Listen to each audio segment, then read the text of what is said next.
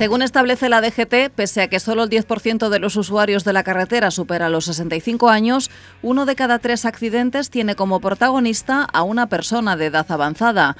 Hasta los 65 años, las renovaciones de carnet de conducir son cada 10 años. Este periodo se reduce a 5 años para aquellos conductores que superen esa edad y pasa a ser cada dos años cuando se superan los 70.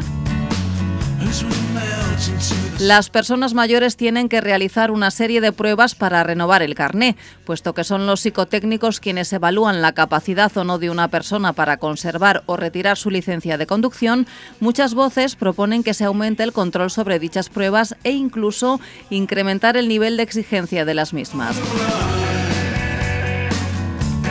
Sin embargo, parece que limitar la edad o hacer más severas las pruebas en los psicotécnicos para retirar a más personas mayores el carné de conducir no es la solución.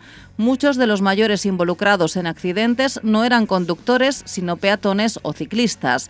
De hecho, las modernas bicicletas con pedaleo asistido están haciendo que muchas personas mayores se animen a utilizar este medio de transporte que, aunque requiere menor esfuerzo físico gracias a su asistencia eléctrica, requiere de unas buenas condiciones psicomotrices.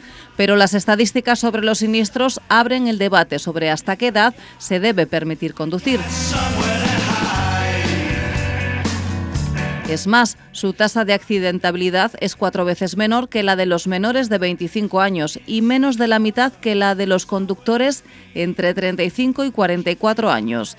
Esto ocurre porque respetan más los límites de velocidad, no son agresivos en su conducción y aceptan mucho mejor sus propias limitaciones auditivas y visuales, motivo por el que recorren menos kilómetros y evitan conducir por la noche. En la actualidad en España no hay límite de edad para poder conducir. La decisión de que una persona pueda conducir o no recae en los psicotécnicos necesarios para la renovación de los permisos de conducción.